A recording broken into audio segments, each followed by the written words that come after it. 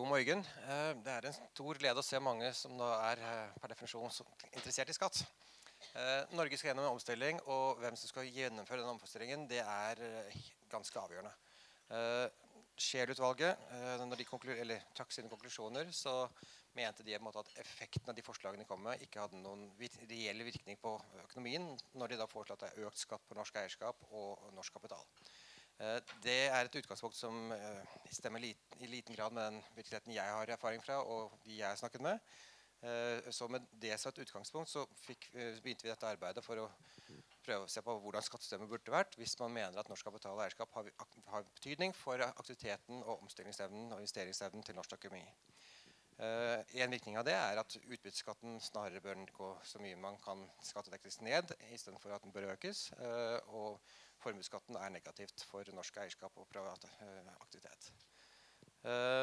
Man har andre effekter også.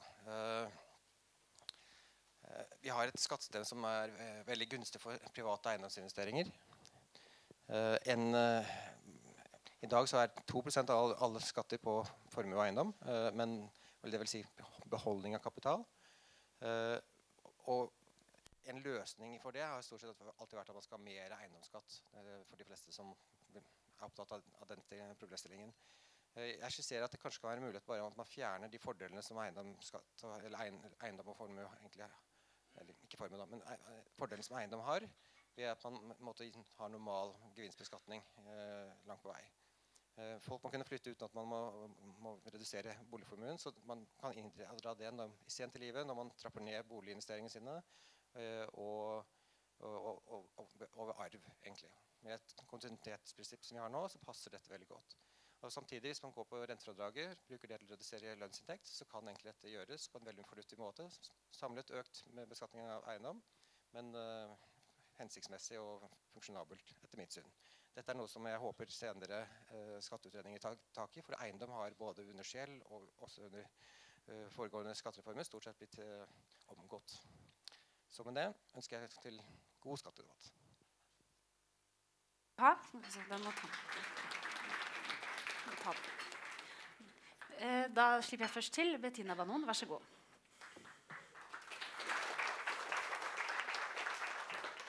Takk. Eh, oi, nå var jeg en glede å se så mange som er interessert i skatt. Eh, og vi er veldig fornøyd med at denne har kommet nå. Jeg tror det er et viktig innspill i det arbeidet som stortingspolitikerne gjør akkurat for tiden, for å prøve å få i et bredt forlik på, eh, om skattereform.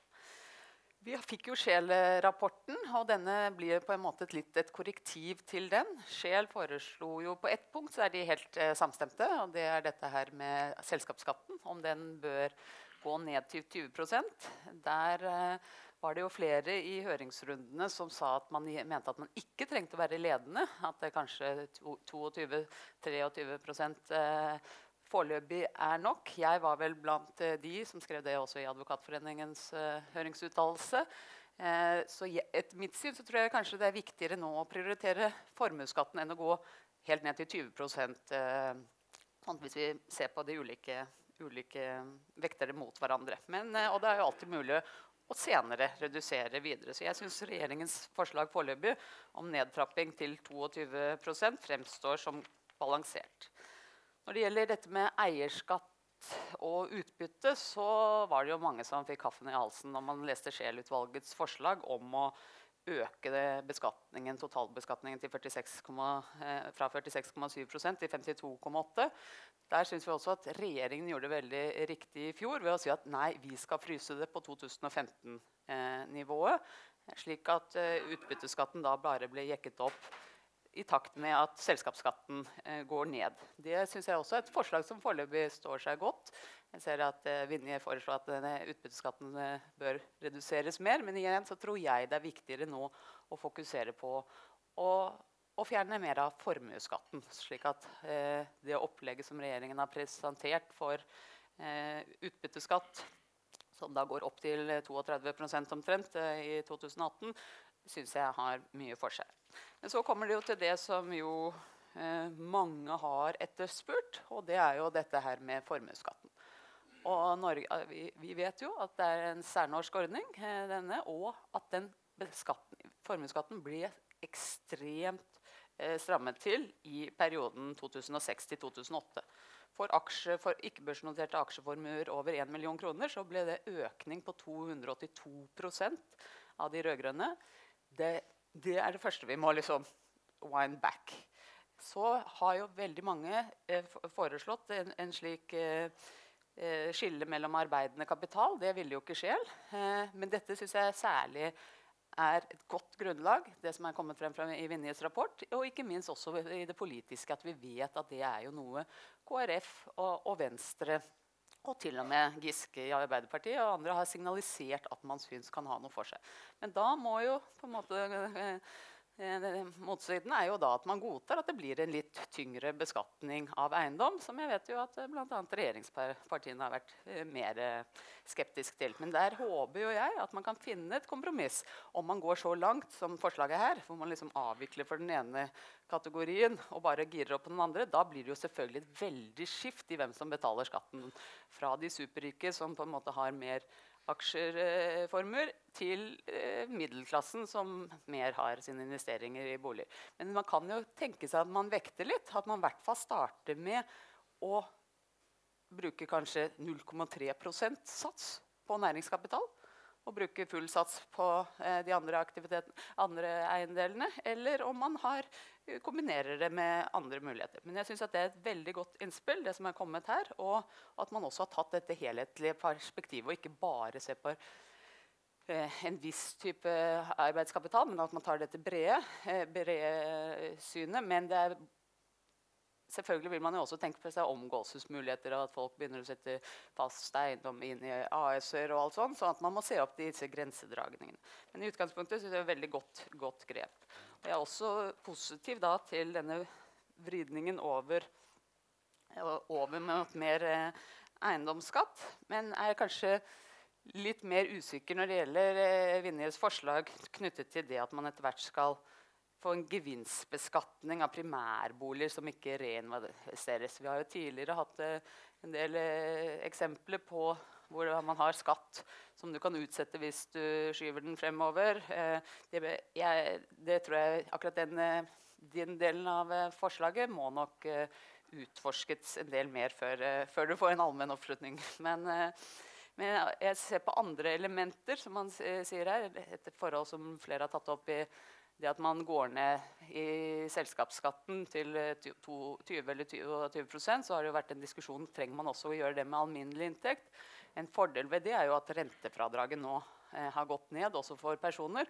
Og akkurat det elementet syns jeg jo at man virkelig bør, også i en skattereform, se på. Nå er rentenivået så lavt, og det vil være en fordel om man kunne eh, fjerne fradragsretten for renter eh, for personer eh, og fått det inn som et, en del av forliket. Ellers så synes jeg et, et, annet element av dette med Scheel-utvalget som man, man, må se på, er jo denne store forskjellen mellom beskatning av kapitalinntekter og aksje, andre kapitalinntekter, som da kan gå ned til 22% mens aksjeformuer eh, da, eh, beskatning der den samlede beskatning blir mer 46,7% det, det forholdet føler jeg jo også at man eh, må se på. Så det var vel eh, det siste som jeg alltid vil si når vi ser med skattereform, at det er jo viktig at man har eh, liksom, forutberegnelighet. Det er jo en viktig del av hele det skatteregimet. Så jeg synes også alltid vi må ikke glemme at vi må ha en reform også av skatteforvaltningen. Det er også en viktig del.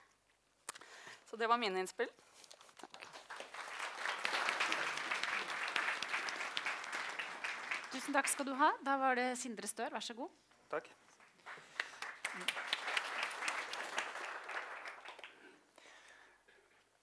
God morgen, alle sammen. Eh, mitt navn er Sindre Støer.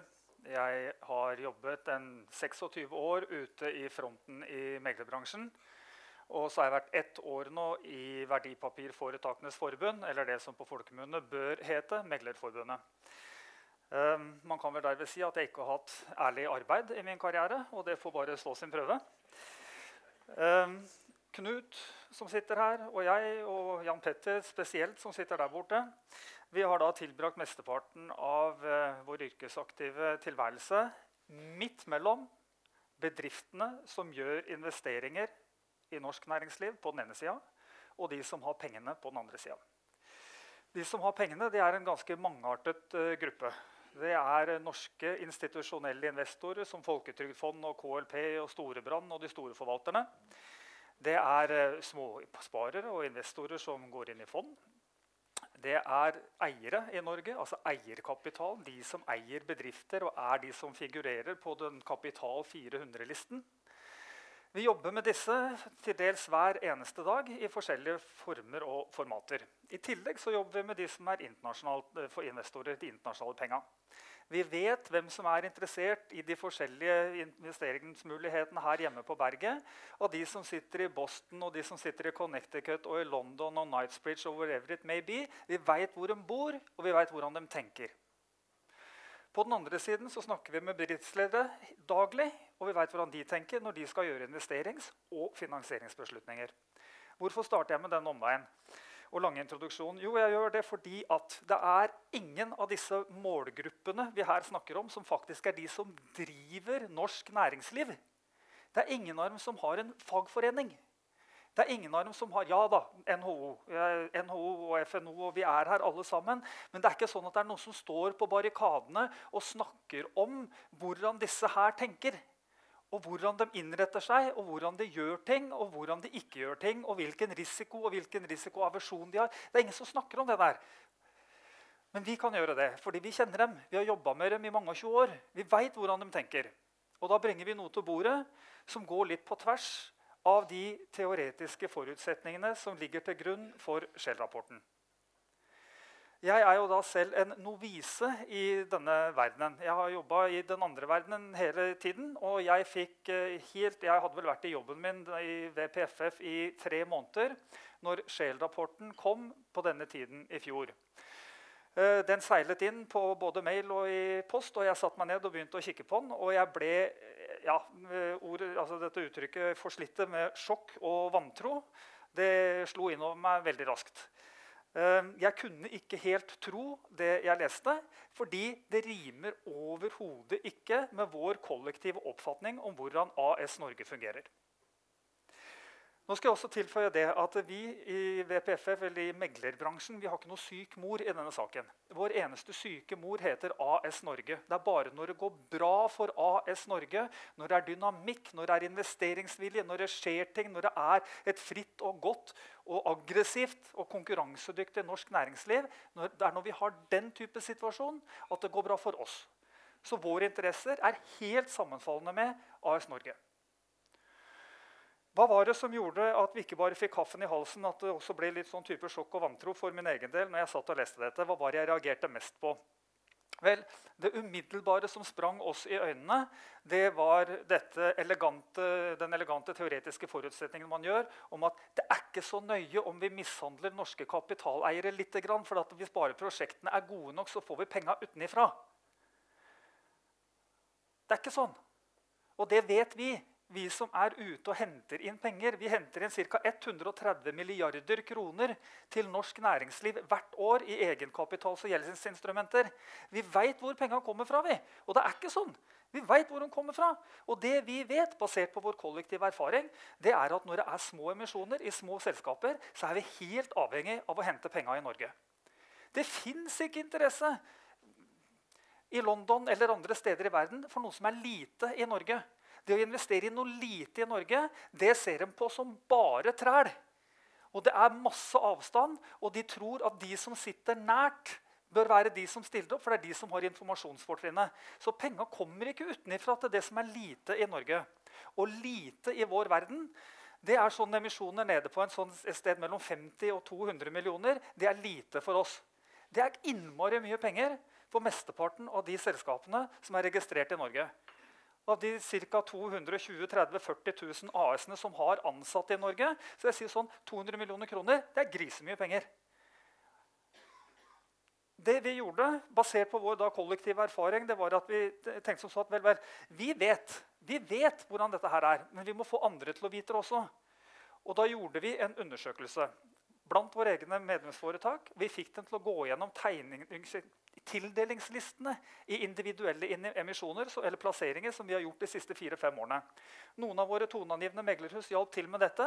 og De måtte da sette på kompetent arbeidskraft i sine egne respektive foretak for å gå gjennom tildelingslistene. Og tildelingslister på hver enkelt emisjon er ganske lang. Og på hver enkelt linje i de Excel-arkene så måtte de krysse av norsk, internasjonal, norsk, internasjonal gjennom hele lista.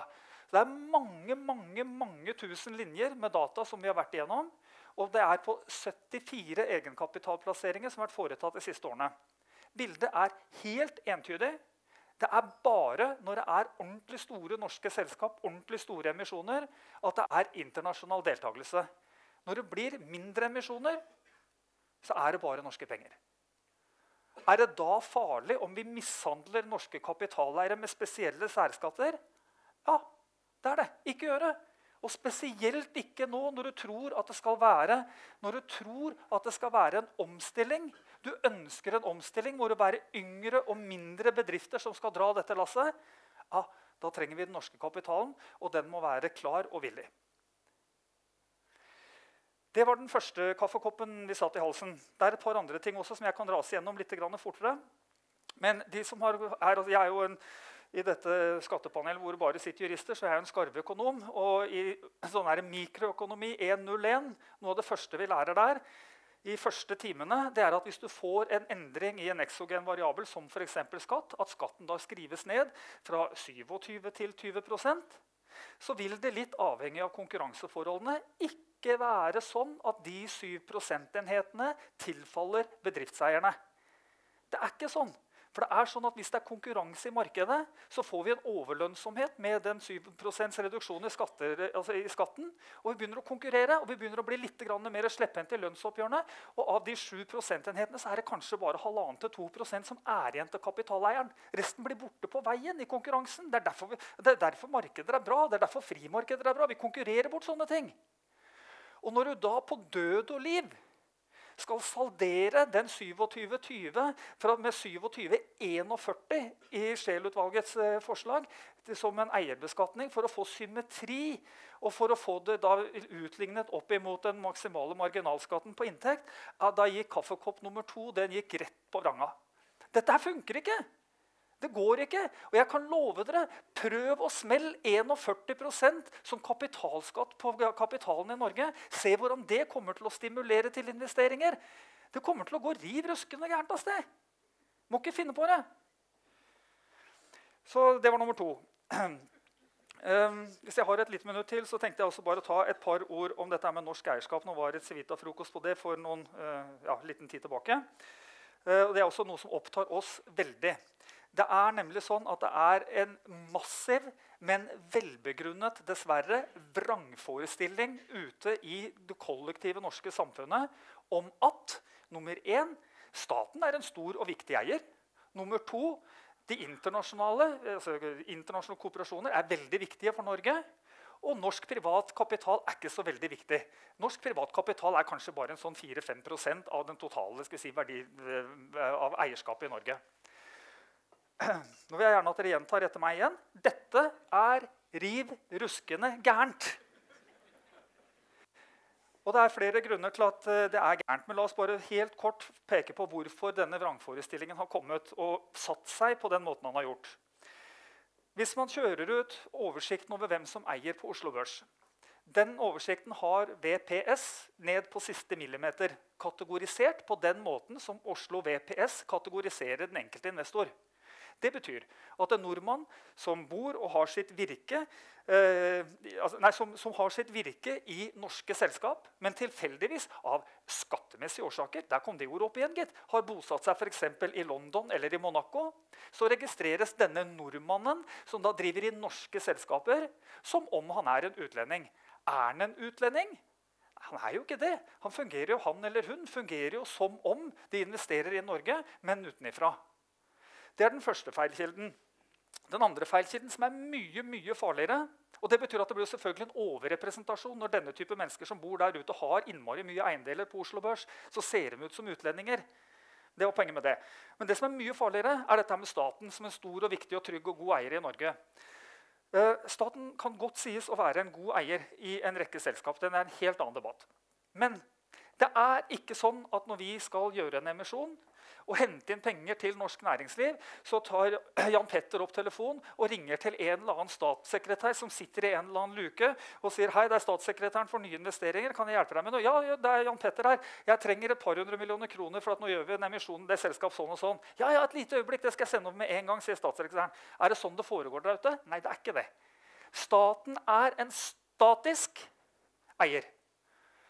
Staten kommer ikke med penger annet enn via sine si, institusjoner som SkatteFUNN og Innovasjon Norge og whatever it may be, kommer ikke med friske penger til norsk næringsliv når vi trenger det. Det må vi finne andre steder. Staten er en stor eier i nominelle termer. Staten eier noe som er jævlig svært fordi de tilfeldigvis har noen gigantiske eierposter i Norges største børsnoterte selskap, som Statoil, og Telenor og DNB. Men det betyr, og det betyr at de nominelt sett, når du ser på fraksjonen av hvor mye staten er, så ser de innmari svære ut. Men hvis du ser på antallet selskaper, så er det bitte lite. De seks-syv største eierpostene til staten står for par og 90% av verdiene. Kan man basert på de seks-syv eierpostene si at staten er en stor og viktig eier og en drivende eier i norsk næringsliv? Nei! Det er ikke noe penger å hente der. Det er andre penger vi må bruke for å få Norge videre. Um, jeg har som en av kanskje få i salen hatt muligheten allerede til å lese gjennom hele rapporten som Vinje har skrevet, og som ligger foran dere.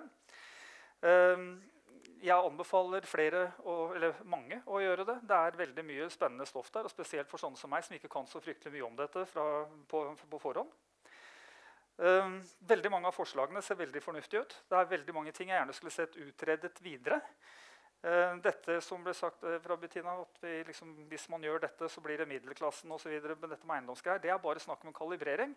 Og den ene sliden som du viser Wilman, på hvordan dette går på desilene med gammelt og nytt system, det er noe som fortjener å bli kikka litt videre på. Men det er noe litt spesielt. Det som er viktig for oss, det er at vi ikke får en skjerping i eierbeskatningen, snarere en reduksjon.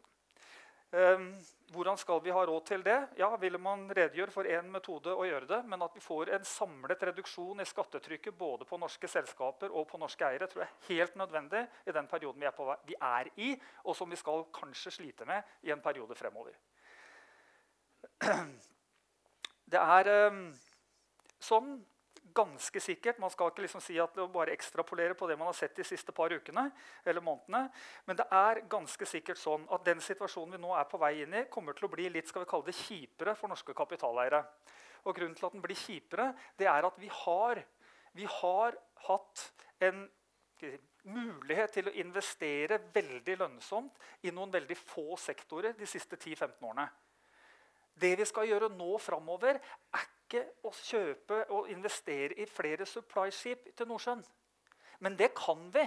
Det er vi innmari gode på. Vi kan industrien. Vi vet hvordan vi skal bygge dem, vi vet hvor vi skal bygge dem, vi vet hva slags kontrakter vi skal. Vi kan, all dyna, vi kan alt det 90-gritty stuff som gjør at dette blir bra. Det kan vi veldig godt i Norge.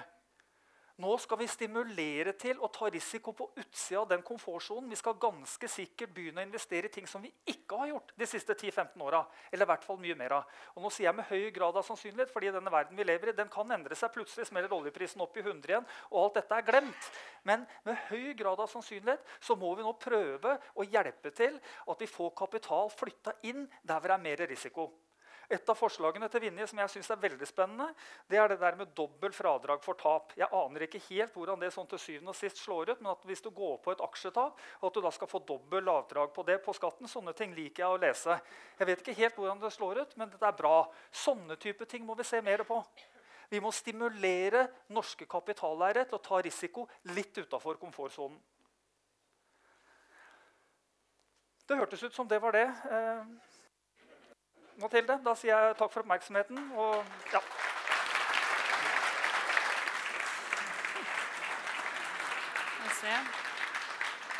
Alle i panelet skal selvfølgelig få mer tid når vi åpner for debatt etterpå. Men nå er det altså Knut Brundtland. Vær så god.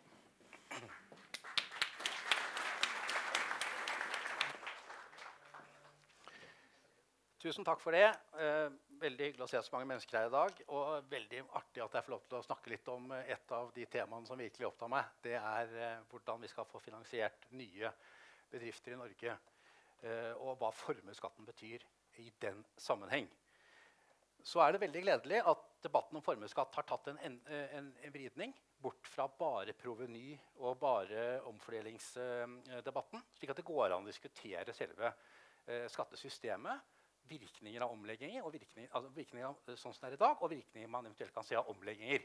Og så kan man ha en egen debatt ved siden av om fordelingsvirkninger, hvem som skal ta regningen osv. Men hvis de to blandes sammen hele tiden, så blir det nesten umulig å ha en uh, ordentlig debatt om det.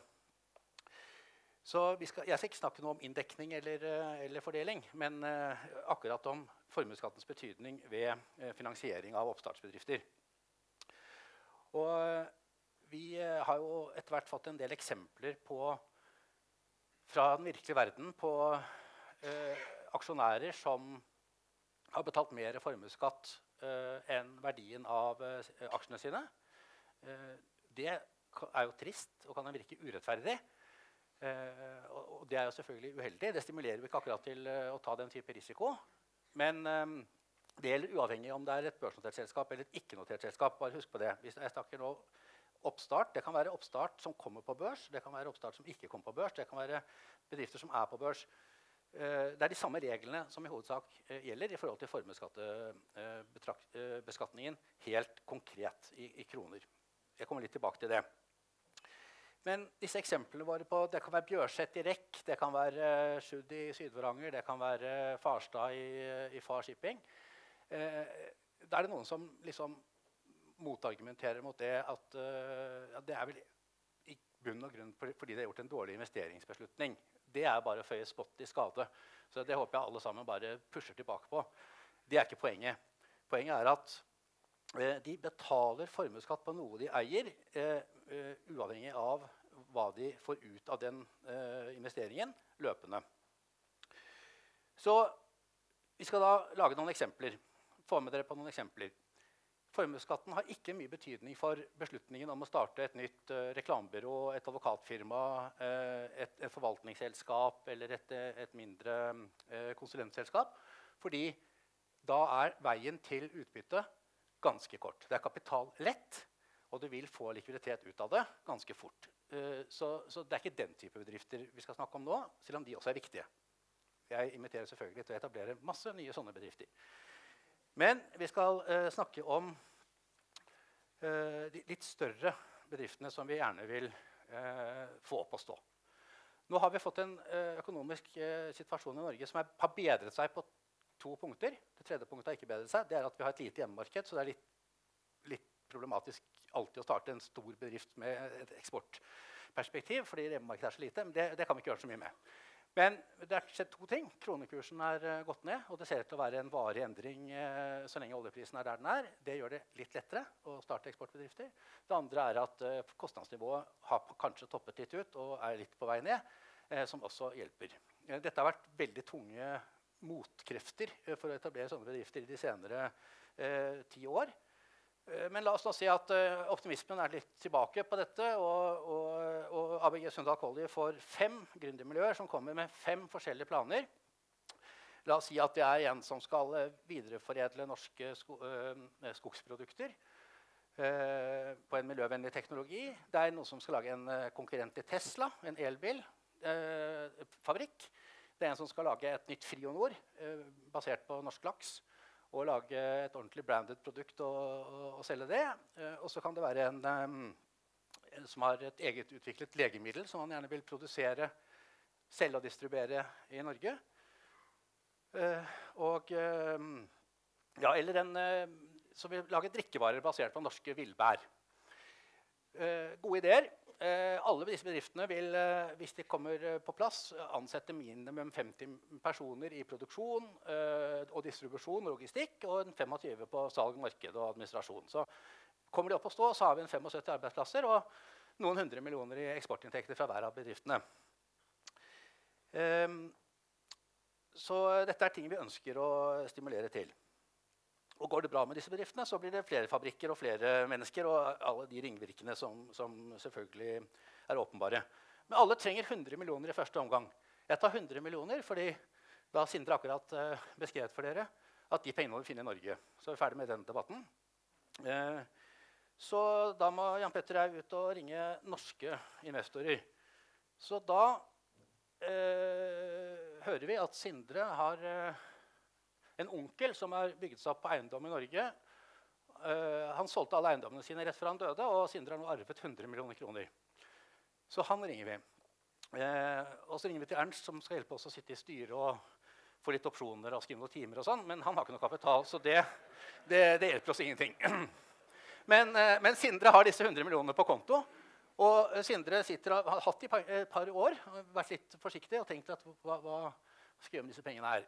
Jo, vi, så hvert år, så siste to årene så har han fått halvannen prosent avkastning av DNB. Og så har han uh, fått en uh, regning på inntektsskatten sin på 27% av det. Og så har han fått 0,85 formuesskatt. Og så blir det ca. i runde termer 200 000 kroner han kan bruke på de 100 millionene. Vel, tenker Sindre, det trenger jo ikke noe mer enn det, men uh, hadde vært gøy å få litt mer. Så da tenker han kanskje jeg går tilbake i eiendom. Han, Onkelen min var ganske smart, faktisk. For da blir det en 3-4% hvert fall eh, avkastning, og så får jeg ikke noe formuesskatt. Og, og, så har jeg det ganske bra. Men så ringer vi, og så sier vi eh, Sindre, vi har disse fem bedriftene. Eh, tenk på om du går inn med 20 millioner i hver av de fem bedriftene. Da må Sindre tenke først selvfølgelig på risikoen. Den er skyhøy. Det kan vi ikke gjøre noe. Det kan ikke skattesystemet hjelpe deg noe med. Det, alle de finansielle og, og, økonomiske forutsetningene rundt forretningsplanen de, eh, kan vi ikke kreve at uh, myndighetene gjør noe med, eller at skattesystemet løser. Men skyhøy risiko. Eh, men OK, eh, den har jeg regnet meg frem til jeg er villig til å ta. Andre har sett på det samme. Vi er villige, vi er, vi er villige til å gå inn med de pengene. Så må vi si til Sindre at eh, eh, det tar ikke tre til fem år før du får noen likviditet her. Du, du må ta ti pluss. Ok, sier Sindre, det er greit. Jeg er ung og sprek. Jeg kommer til å leve i 30 år. Og da blir jeg i hvert fall får jeg sånn litt nede i veien når barnebarna mine trenger leiligheter. Så da passer det ganske bra. Uh, men det tredje er at det kommer til å kreve mye mer kapital enn det forretningsplanen uh, legger opp til i første omgang. Må regne med en tre, fire, fem, ti emisjoner før selskapet enten er i utbytteposisjon eller er solgt eller er på børs, så du kan stelle noen aksjer. Og da må vi bare si til Sindre at uh, når du skal allokere den kapitalen, så må du tenke på én ting til. Og nå, nå, nå, tar jeg en forutsetning som vi kan diskutere litt etterpå, men jeg har praktisk erfaring med det. Det er i hvert fall i noen tilfeller sånn som jeg sier. De pengene du putter inn, får du 0,85% formuesskatt på i de ti årene. Det betyr at på de 100 millionene han investerer i de fem oppstartsbedriftene, så må man sette av 8,5 millioner til skatt. Det skal staten ha hvert år i de ti årene til det eventuelt blir likviditet. Eh, da må du enten sette av de pengene. Du må tjene et annet sted. Men åpenbart for alle, det øker hele uviljen mot å foreta den investeringen. Helt åpenbart. Det kan være nok til at Sindre sier at faktisk, det gjør jeg ikke. På toppen av alle de andre risikoene så tar jeg ikke den risikoen å kunne skape, skape meg likviditet for å betale den skatten. Og det er også eh, i et, eh, i et eh, mer samfunnsmessig perspektiv etter min oppfatning helt galt at staten eller samfunnet skal ha de pengene før investoren har fått igjen noe som helst.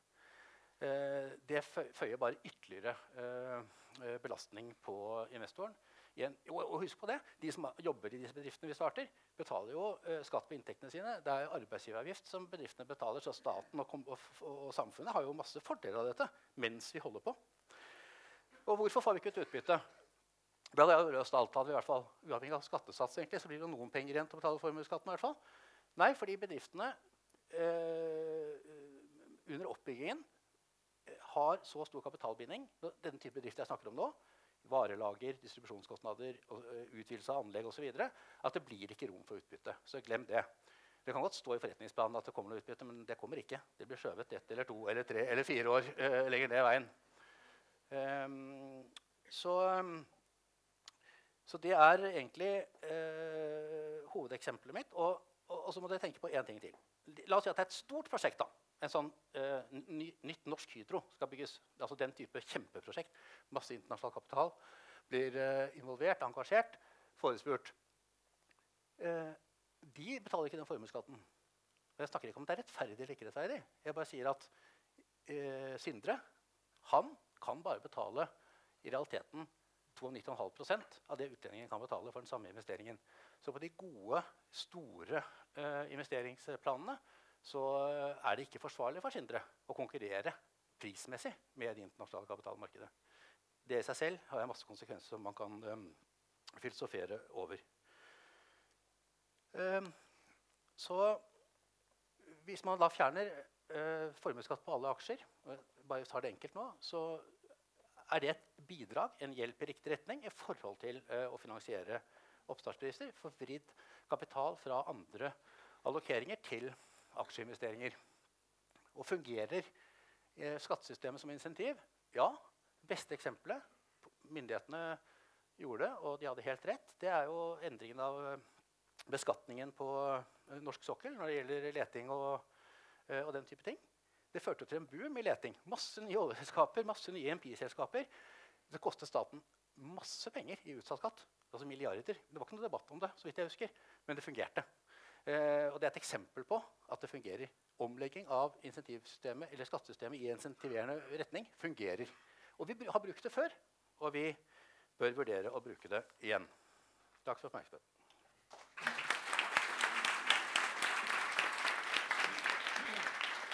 Takk skal du ha. Da slipper vi til sistemann, Ernst Ravnås. Vær så god.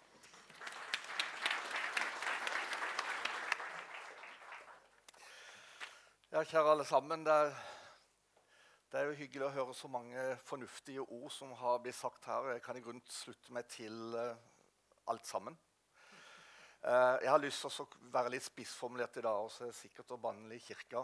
Men jeg vil si at det, nå må det bli slutt på at samfunnsøkonomisk teori skal styre norsk skattepolitikk.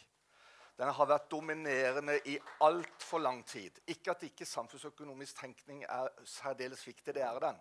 Men man definerer seg ut av realiteten ved å legge noen forutsetninger som ikke stemmer med virkeligheten. Og så blir konklusjonen helt feil. Jeg satt i Skattereformutvalget, som hadde innstillingen i 1990. Og Da hadde vi ett stort prinsipp nøytralitet.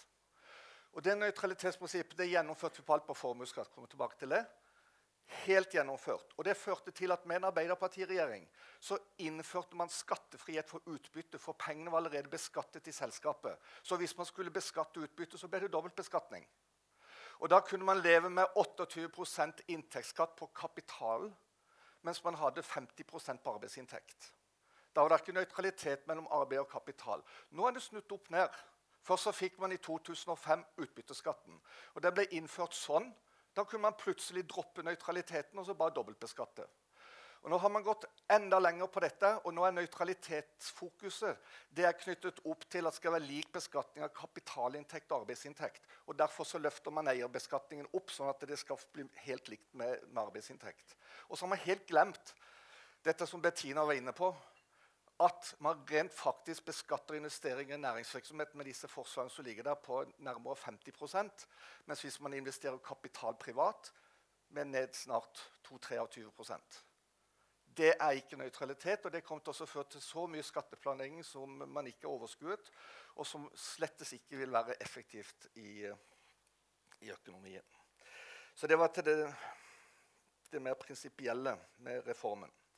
Så litt på formuesskatt. Jeg tok jo dissens i 1990 når det gjaldt uh, formuesskatt. og mente den burde avvikles, og så har jeg slåss i 25 år for å prøve å få det til. Og det har uh, vært som å slåss med vindmeller, men nå virker det som, uh, som om det er mulighet for oss å kunne få til et forlik med fra fradrag eller unntak fra formuesskatt for arbeidende kapital. Og Det forslaget som nå foreligger, er veldig bra. Det har vært masse utredninger på dette, og det har også vært teoretisk fundert på en måte som har gjort at man sier at det er så vanskelig å avgrense mellom hva er arbeidende kapital. For så kan man høre noen si altså at da vil jo mange folk putte boligen sin inn i AS-et, slik at de skal slippe formuesskatt, fordi at det er ikke formuesskatt på aksjer. Men hvis man kjenner skattesystemet, så vet man at det er bare idioter som vil putte boligen sin inn i AS. For ved å putte sin bolig inn i AS og skal bruke den, så må man betale markedsleie til selskapet. for ikke fradrag for markedsleien, men selskapet blir inntektsbeskattet for det. Sant? Og når man senere selger boligen, så får man full gevinstbeskatning i selskapet. Og så får man skatt når man tar det ut som utbytte. Og da er det ikke noen som er så dumme at de putter en bolig inn for å slippe formuesskatt. Og Dermed er det helt teoretiske diskusjoner man har hatt om eh, problemene med avgrensning med dette. Og Det forslaget som nå foreligger, det tror jeg vil funke bra. Så tilbake igjen til det med eh, teori og praksis. Altså, nå har vi hørt på Sindre og Knut her, som eh, kommer fra det virkelige liv og vet hvordan faktisk kapitalinnhentingen skjer. Det har jo i stor grad vært sagt opp igjennom at om du bor på Toten og har 100 millioner, eller om du bor i London og har 100 millioner, så har ikke det noen betydning for hvordan du investerer. For du vil alltid investere der som forventet avkastning risikojustert er høyest. Og Teoretisk er det riktig, men i praksis er det ikke sånn. Eh, jeg foretok en undersøkelse etter eh, oppdrag fra Civitas. Eh, noen av dere kanskje lest det, sto i DN for en drøy uke siden. Og Der intervjuet jeg syv milliardærer som har flyttet fra Norge, og som bor i utlandet, og spurte om hvordan har utflyttingen påvirket investeringsatferd.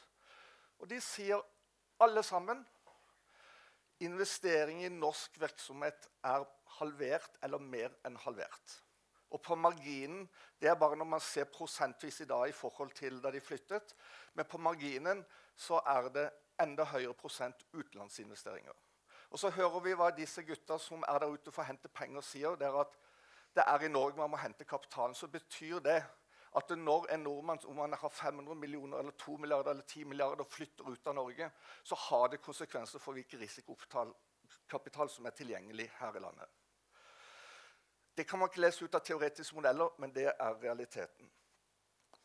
Disse som flyttet ut, de ni som jeg eh, hadde intervjuundersøkelse med, de sitter i dag på litt over 50 milliarder kroner. Og åtte stykker sa alle de som hadde over 500 millioner når de flyttet, sa at formuesskatten var avgjørende for at de flyttet. Så kan man alltid hevde altså at de sier bare det for de ønsker å gi et politisk innspill som har betydning i en debatt, men det er helt entydig svar. Og Jeg spurte også elleve skatteadvokater her i Oslo som har drevet med å flytte personer ut. Til sammen var det nærmere 90 personer med store formål som de hadde flyttet ut. Og de gir akkurat det samme bildet. Når man kommer over et par 300-400 millioner i formue, så er det entydig slik at formuesskatten har vært avgjørende for at man flytter. Da hjelper det ikke at det er noen teoretikere som sier altså at nei, formuesskatten har ikke noen betydning for praksis, bare viser at det, sånn er det ikke. og Det må vi ta høyde for, og det er det som må være styrende i forhold til den skattepolitiske debatt. Og nå, Til slutt skal jeg si noe som jeg skulle ikke skulle si, for det, det, det, er ikke mitt område. Men vi får jo et skift nå, tyder alt på, fra avhengigheten av offshorevirksomhet til landbasert virksomhet. Og Den omstillingen den betyr at vi antagelig fremover kommer til å få mer behov for risikokapital enn noen gang i dette landet på land. Og det betyr at det dummeste vi kan gjøre, det er å stramme inn eierbeskatning. Det er motsatt vei vi må gå, og det er det disse også sier bort med formuesskatten og ikke få den skjerpingen som eh, det nå er lagt opp til på utbyttebeskatning. Takk.